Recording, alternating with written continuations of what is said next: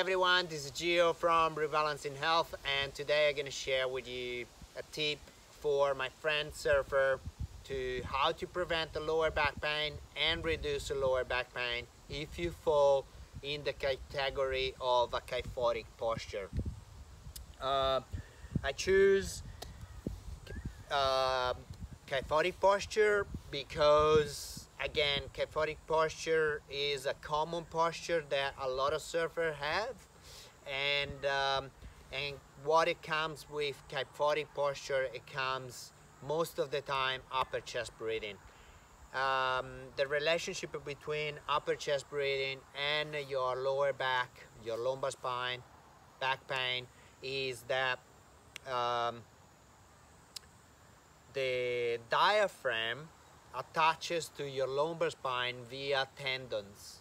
Um, and upper chest breathing um, doesn't allow the diaphragm to expand and compress um, and consequently um, the rib cage is not mobilized thoracic cage is all, uh, the thoracic um, spine is all compressed down. And by having an upper chest breathing, it means that the diaphragm is not mobilized properly and therefore doesn't expand by pushing down on the viscera, by extending, uh, decompressing and stiffening the lumbar spine and uh, by by the breathing happening here on the upper side, the body will uh, will um, adapt um, or utilize upper chest and um, muscle to lift up the rib cage like that.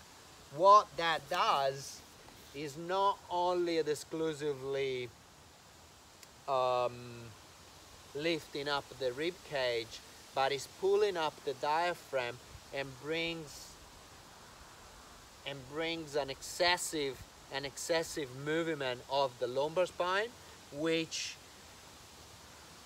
with the on on the long term uh, causes um, hyper flexibility and hyper mobility of the lumbar spine. In particular uh, L4 L5 uh, level, which is where those tendon attaches. Um, so, with that said, I'm gonna go straight into a breathing technique to you to start retraining the uh, a diaphragmatic uh, or the use of the diaphragm while we're breathing. Uh, the breathing is done in three in two parts. We do three thirds of our breathing down here on the uh, on the um, on the upper um, upper belly, upper stomach, um, or the abdomen, and the one third we do it in the on the upper chest or on the on the chest. Excuse me, not on the upper chest and we will concentrate to have a nice slow inhalation uh, not a forceful inhalation. We will concentrate on the expansion of the belly expansion of the rib cage and then we're gonna end up we're gonna finish by lifting up the rib cage oh sorry the the upper chest in a really slow manner, in a really slow and um, yeah, a, a really slow pace. Um, I always give the analogy of a wave. So if a wave lifts up, right, is raises up, it lifts it up, and it starts to crumble, that's my two-third. And the two-third of the breathing it finished when the waves breaks. The water arrives down at the bottom of the face of the wave. The wave is become whitewash and uh, let's pretend that it's close to the shore and so the whitewash and all that force it start to climb up the, the, the face of the, the shore, but because it's a, in a, in a um, steep level, it will uh, reduce the speed and will start to uh, go backwards again. So the the part of the upper chest, what I wanted to say, the part of the upper chest is not a forceful breathing, is only the last part and is a really gentle part. Pretty simple. You can even use a resistant band, a really light resistant band around your uh, rib cage uh, just to perceive a slight resistance against the rib cage so that you know you are aware of where to push out uh, and uh, uh, at the rib cage level. Otherwise you can just utilize the hand like I do put one over here on my upper abdomen one on my upper chest, just underneath the collarbone, just right by the collarbone, right here, resting there. It's gonna be a relaxing breathing. So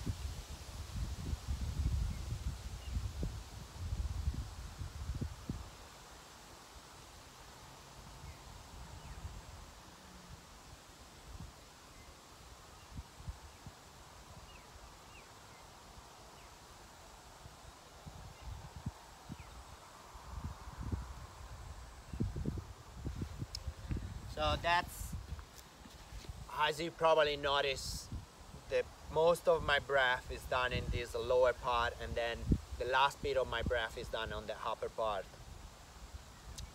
Again, if I mobilize the rib cage, I utilize the diaphragm. The diaphragm will drop down when we're breathing. By dropping down, it will push down on the viscera, will push down on the digestive system, and um, that create a, an extension, a decompression, and also uh, the diaphragm is utilized to stiffen and stabilize the trunk. If, for example, if you think about it, the, the time that you went to pick up, uh, you went to pick up a heavy object like it would be um, a bag of wood, a bag of flour, um, uh, if you are into gardening, compost, get, you know what I mean. Um, big piece of wood. When you're leaning over, out of, uh, uh, automatically, when you go and reach and you grab that heavy object, that you stop breathing. You automatically you do it. Uh, innately you do it and that's the way that the body utilize is a, is a preventing is is the body utilizing um, the diaphragm as a stabilizer which in fact the diaphragm is a stabilizer of the trunk. Uh, but innately the body does it. So by doing this breathing we train in the diaphragm.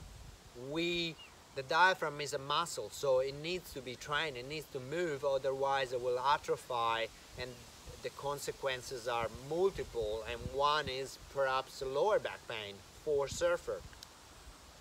So that's one uh, tip. The other tip is uh, lay down on on a foam roller with your sacrum and head on the foam roller. Just to open up the arm like this. And you can even do the breathing that I just show you on the foam roller and just relax over here. Just to help uh, the upper chest to open up. Um, if it's a bit um, if it's the diameter of the foam roller is a bit thicker you will feel and you have a, quite a bit of kyphosis you will feel a lot of tension uh, on the chest opening up. And I suggest you to practice just lay down on the on the foam roller for about two weeks um, and do the and practice the breathing.